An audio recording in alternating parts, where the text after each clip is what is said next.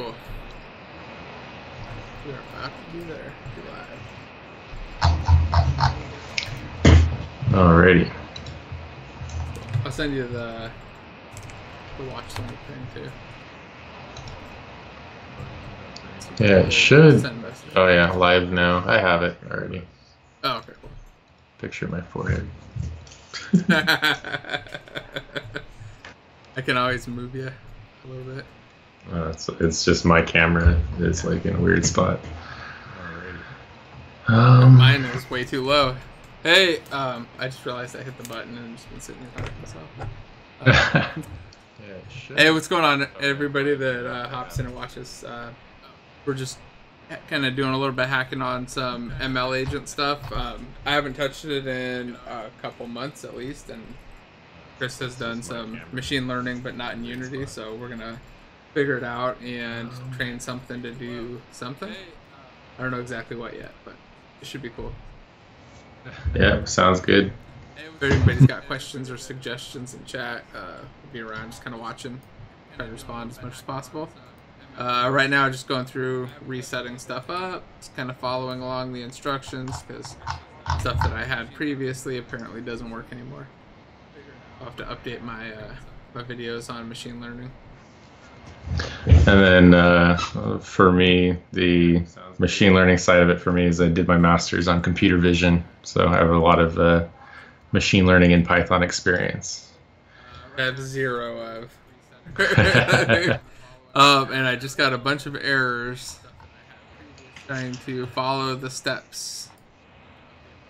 Got a lot of steps that don't work. Or I said that's that's mine basically. for me, the machine learning. All right, let's Um, see. I think your uh, vision. wait, so I have a lot never mind, that's me. machine learning learning and and Python Python experience. I yeah, I muted the audio to the. Yeah, I did too just now. Took me a minute to realize. So, yeah, do you have any idea what this error is, Chris? Why this Um, happened?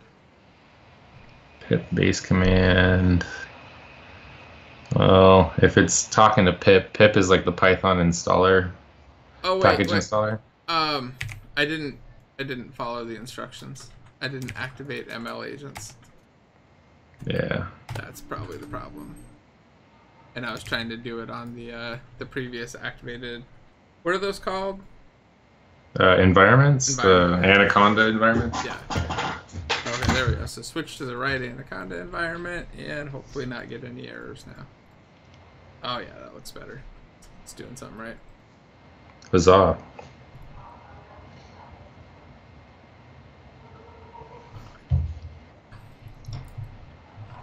Send a message real quick in here.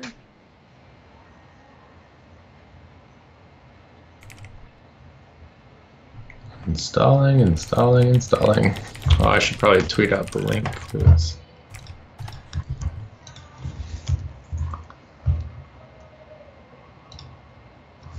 All right. So once this finishes, what do we have to do? Uh, use pip to install some dependencies and clone the repo. Got that already. Uh, All right. um, I just uh, tweeted out the stream. oh, cool. Okay, so it looks like we do pip install dot once it's done, and that's gonna find all of the dependencies and Yeah, so happen. But do I have to go to that folder first? Yeah. yeah. So in there, there's probably a requirements.txt, which is like Python's standard way of doing that. Yeah. oh, so if you want to see what's what it's installing It's- right now, you can go this into one? yeah. Okay, cool. But I haven't run that step just yet, but it's good to Yes. know this. Okay, so it's gonna do that. So uh, TensorFlow is Google's machine learning uh, deal, and bring that on the main screen. Um, Pillow is uh, like a computation library, usually used for image editing. Um, Math Matplot is uh, for graphing. NumPy is like a number editor. Jupyter is a uh, um, basically like a I forget what you call it. It's kind of like a scratch pad thing where you can set up tutorials and and uh, have it display as a web page with code in it. It's really interesting. Um, PyTest testing framework. Uh, DoCopt, I don't know what it is. Uh, PyYAMLs for reading YAML configurations. Um, Protobuf, yeah, Protobuf, and then I think that last one's related to GPU connection, but I don't know for sure. So those are probably the two that I don't I don't recognize as the uh, the DoCopt and the DoCopt and the grpcio which you could look up if you wanted to. I don't know. No, why not? Well, we've got an installer running, so. Yeah. Sounds good to me. I got another one going on. It's a open source RPC framework. Hmm. Is this it? Oh, yeah. Let's see. RPC, yeah, .io. Yeah. Okay. It's probably just. Yeah. Uh, oh, you know what? It's probably to let um, Python talk to Unity. Because there was, uh, I was reading through some of the code, and uh, yeah, it it had some buffering system to send messages from the agents back and forth. Oh, okay. Huh. Uh, so um, for the um, yeah. Uh, Chris asked a question about is it? It kind of is. Um, so if you've looked at, he asked about it, if it was related to letting an NPC decide what to do on its own, and yeah, I guess you, the way you set it up, I think it depend on the specific game, but you could definitely use it to control NPCs. At least from everything I've seen, it seems like a, a pretty interesting way to do that. Right here, it's just balancing some balls on these little things, so the balls fall down and it I stop and start. I think it's a little bit more interesting when it starts off, or it has yeah. totally balanced.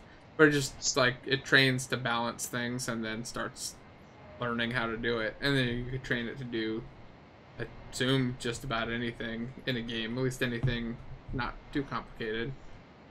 Yeah. So what the balls are doing there is that every time they fall off, uh, it actually scores that decision making system lower and then every time it stays on for a long a longer period of time then it scores it higher and so you, you you don't have to tell it how to win it can figure out how to win on its own by get collecting scores um, and the part yeah. that's running here is the already trained part it's already gone through that process of no, learning how to hold the balls on there and then give it the the data file, which is right here. It's this 3D ball graph model.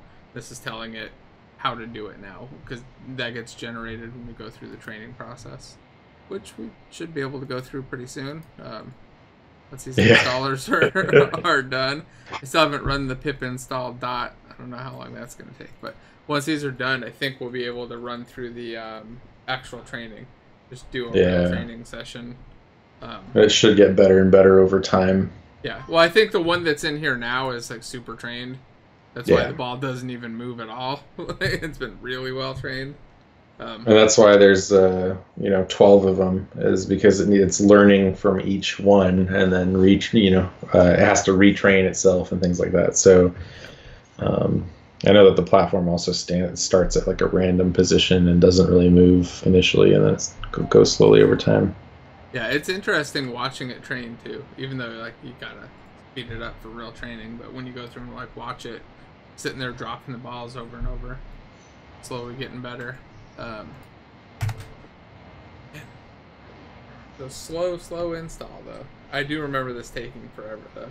Like last time I did the install, those videos were 20 minutes and that was the cut down version. like it's good, but I think uh, a lot of that was like the Anaconda setup and finding the right things to download. And hopefully that's yeah. all still good. It seems like it is. Um, we'll see though. Yeah, here's the hoping. Has anybody uh, in chat played with machine learning at all?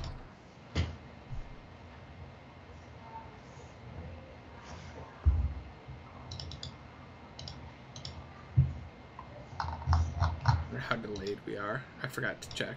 I don't think I set it to ultra low latency. Like I meant. Yeah, no, we're, we're like super. Uh, it's super delayed. Ah, crap. That was my fault. I, I meant to set it up like uh, and get it down to like two seconds. I did that before, and apparently I uh, totally forgot, and now we're on a nice long delay. I wonder if I can adjust that while we're still live. I doubt it. But I'm gonna try anyway. Okay, I just said super delayed again just now. Oh, okay. Let's see. yeah, it's set to the low latency key. I don't know.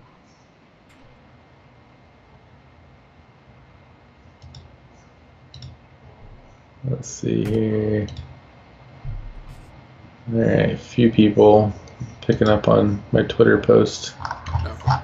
Alright, They're still installing. We're losing people. We're losing them. losing, losing them to wait, wait for the install to run. Um, I don't know. Uh, do you have a Python editor? Can do something pretty entertaining while we wait. I do not. Uh, what Uh-huh. Python editor should I have? Well, PyCharm's the JetBrains one, but uh, I don't know. You could just run a Python script. PyCharm's gonna, might take a while to download though. So yeah, go see if you can get it. Yeah, There's a com- community edition for free. So, um, but we can we can goof around with some basic machine learning stuff if you're Yeah, up for it, just to show the audience what's actually going on. Um, let's do it. uh,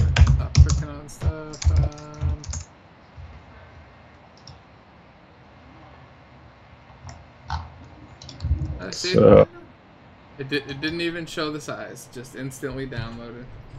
nice. It's joy of gigabit internet.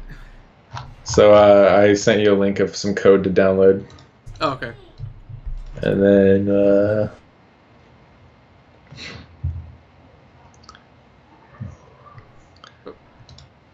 and so the, the sklearn is like a super simple version of what TensorFlow is kind of doing. Um, and let's see. Should I associate this with my dot pies? Yes. Seems You want- a good idea. Yeah.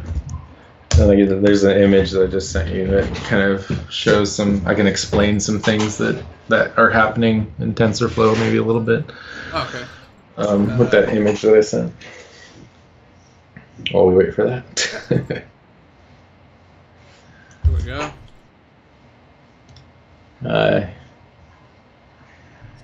yeah. So there's um, this is like a, a example of different machine learning models learning some input data. And so you could imagine this as like um, maybe where the ball drops, you know, so like red might be it fell off and blue it stayed on or something like that. And uh, so these are different models. So, uh, you know, each row of pictures here is uh, is the I don't know if you can see this on the stream right now. Um, it should Your pop up. s- It went black for a second when the installer popped up. Oh, okay, it cool. Turned back on.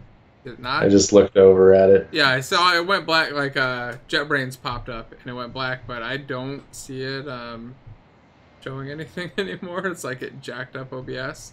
Uh oh yeah, it's all kinds of messed up. Give me one second. I'll. I'll Okay. I don't know. I don't know why that happened. Uh, that is really weird. What is going on? It just literally stopped showing my my monitor and everything else. Um, Yeah, I can only see you. yeah. We'll be back in two seconds. I'm just gonna restart OBS. Okay. Stream might drop off for just.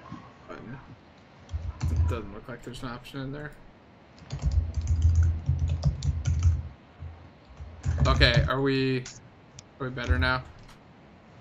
Uh, Or actually let I'll know just, in a second. Hold on, everybody, I'm just gonna kill and restart this stream completely. And we'll back up in a couple seconds and low latency so we can actually talk.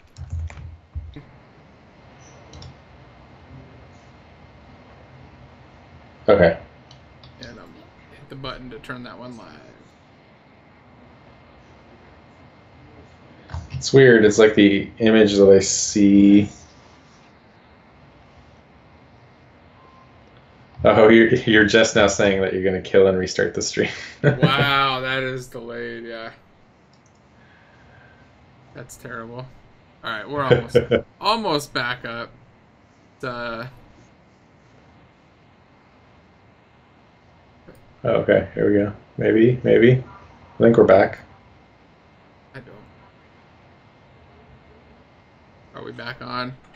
Yeah, it's weird though because No, it feels like the same latest. stream though. It's still the. It's still is it still the old stream? Is it? I think so.